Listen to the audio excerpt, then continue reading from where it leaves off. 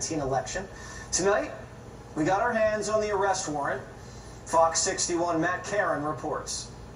We learned investigators examined absentee ballots, surveillance video from Bridgeport Senior Housing, and used witness interviews as evidence to make the arrests.